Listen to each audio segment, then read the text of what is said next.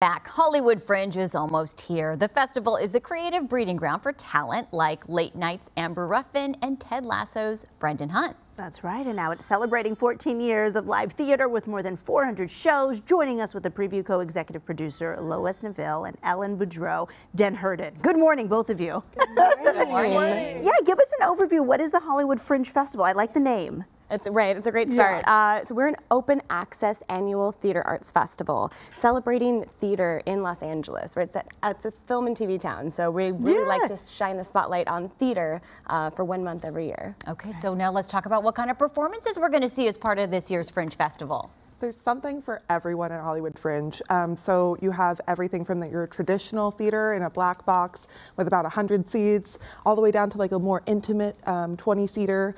Um, um, and then you have things like immersive theater, interactive performances. Um, we have um, even an escape room this year. Oh. So we have so much uh, to do. There's a little bit of something for every type of person. Yeah. yeah, and I think that's good. You don't just offer shows, right? You're all about helping the artists in what way? Absolutely. We're a community-centered festival. So on top of, of course, being a platform mm -hmm. for performance, which is so important for both audience and artist, mm -hmm. but we're a space for them to join together and build their careers because of networking and education, because yeah. uh, it's hard to be an artist. And so we want to create that safe space for them to really hone their craft mm and uh, create careers. Especially somewhere like LA, which is so spread out just as a city. It doesn't have the density of other cities or the natural meeting places, but you have a brand new central hub, which you are calling Fringe Central. Where is it? What can people find there? Yes. On Hollywood and Highland um, at the Ovation Center, we have our central box office, which is also a meetup space for our artists and industry base, where our artists can mix and mingle. And if you're an audience member, come and buy a ticket to a show, get to know the artists.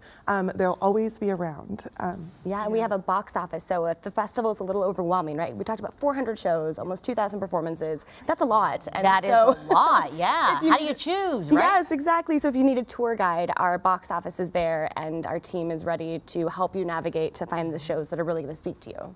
How important is it to what you guys are doing? How important is diversity in all of this? You're talking about racial diversity, gender diversity when it comes to the artists, especially here in town, like we were talking about. Like it is a diverse community, but oftentimes people in the industry may not feel like they're represented. So what are you guys doing to combat that? Yeah, it's so important, right? The audience needs to see themselves, and then we need to see people that you know are going to open up our understanding of life, uh, and we have great programs.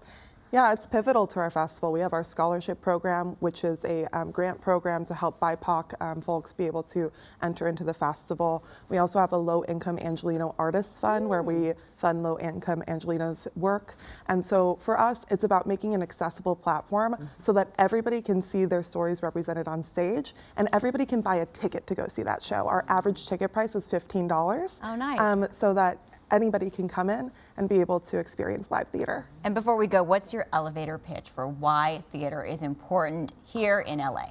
Yeah. In LA, I mean, it's everything, right? Theater is the human experience. Mm. And so we're so excited to be able to invite audiences at an affordable price to experience life uh, with, it, with the community. Mm -hmm. Live theater, it's a lot like live television in a sense, right? Like things are happening. Yeah. Like, how do you have those organic conversations? I'm all about it. Thank you so much for being here today. Hollywood Fringe Festival opens June 12th with shows running through June 30th. For tickets and details, look at our screen right now, write it down, put it in your phone, or you can head to hollywoodfringe.org. Dance it out. We'll be right back. This is live theater, baby. yeah. yeah.